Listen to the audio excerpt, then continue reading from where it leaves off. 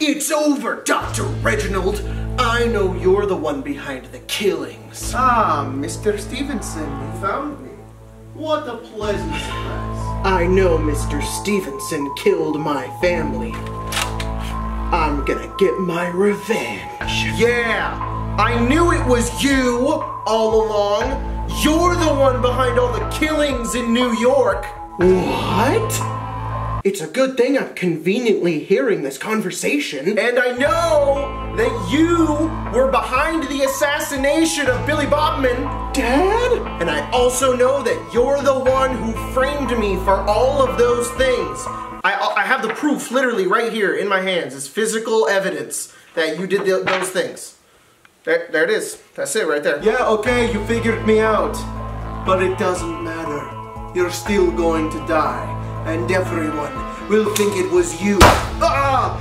No! Not this time. Hold it right there. John Bobman, I'm here to finish the job. No, wait, I can explain. There's no time to explain.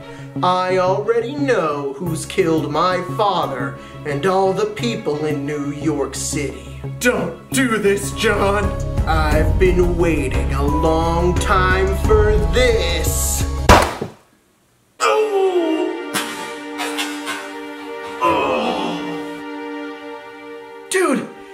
Why'd you shoot me? I was totally gonna shoot that guy. Why didn't you tell me? I, I thought it was obvious. You've been trying to kill me all movie because he framed me for killing your father. Well, the plot never let me realize until it was too late. Plus, I was being subversive. Did you not? Did you not hear me ex exposition the fact that that was he's the real killer? I literally, I, I had the, I had the proof. I had all of it. You, you still, you, you could have just said something. Uh, dude, he's getting away. Oh shit. Just leave me. I'm gonna be dead. No, John. No. You're gonna live with the power of a paid sponsorship. G Fuel will save your life.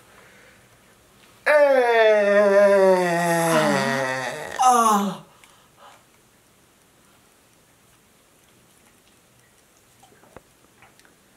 I'm going to not die.